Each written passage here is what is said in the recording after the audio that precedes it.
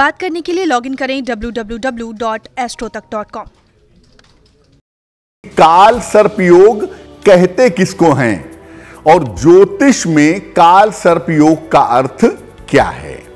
देखिए, ज्योतिष में तमाम शुभ और अशुभ योगों का अध्ययन किया जाता है जो शुभ योग हैं, उनके बारे में भी समझते हैं और जो अशुभ योग है, उनके बारे में भी समझते हैं और व्यक्ति के जीवन का अध्ययन किया जाता है।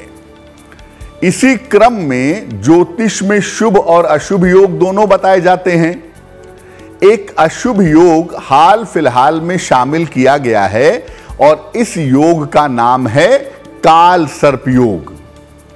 काल सर्प योग के बारे में अभी भ्रम की स्थिति बनी हुई है कंफ्यूजन की पोजीशन बनी हुई है। कुछ लोग काल सर्प योग को सही मानते हैं कि ये वास्तव में होता है, इसका प्रभाव रहता है और कुछ लोग इसको गलत मानते हैं।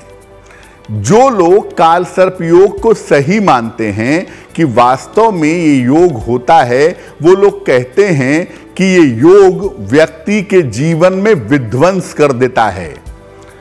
ऐसे लोगों का मानना है कि अगर आपकी कुंडली में काल सर्प योग है तो जीवन में किसी तरह की सुख और सफलता आपको प्राप्त नहीं होगी। इसीलिए इसके विशेष उपचार किए जाते हैं और काल सर्पयोग का अगर सही समय पर उपचार ना किया जाए तो व्यक्ति जीवन में असफलता के अलावा कुछ नहीं पाता। ये एक नज़रिया है उन लोगों का जो लोग काल सर्पयोग को मानते हैं या सही ठहराते हैं। उनका कहना है कि समय रहते ही काल सर्पयोग की शांति करा लेनी चाहिए, क्योंकि अगर आप समय रहते काल सर्पयोग की शांति नहीं कराएँगे तो इसके परिणाम बड़े बुरे होंगे, बड़े अशुभ होंगे। अब ये जानते हैं कि सामान्यतः जो लोग काल सर्प योग को मानते हैं, स्वीकार करते हैं, वो काल सर्प योग के बारे में क्या कहते हैं?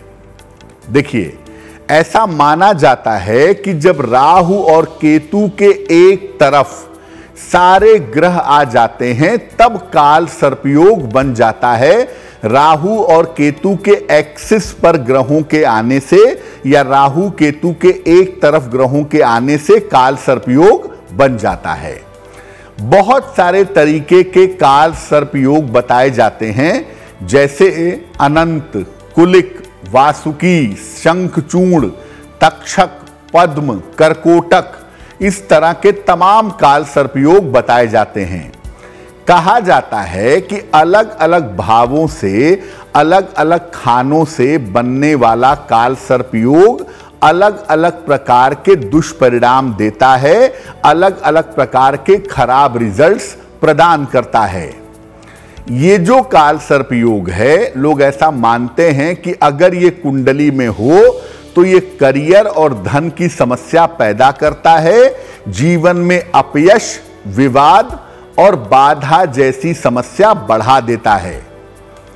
यानी लोगों का ऐसा मानना है कि अगर आपकी कुंडली में काल सर्प योग है तो जीवन में हर कदम पर बाधा आएगी और जीवन में आपको सफलता नहीं मिलेगी।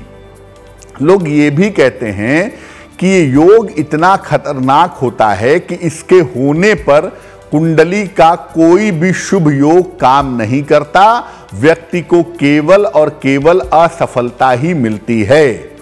यानी लोगों का ऐसा मानना है कि अगर आपकी कुंडली में काल सर्प योग है तो कुंडली के जो बाकी शुभ योग हैं, बाकी जो अच्छे योग हैं, वो योग भंग हो जाते हैं और उन योगों का शुभ प्रभाव व्यक्ति को प्राप्त नहीं होता है।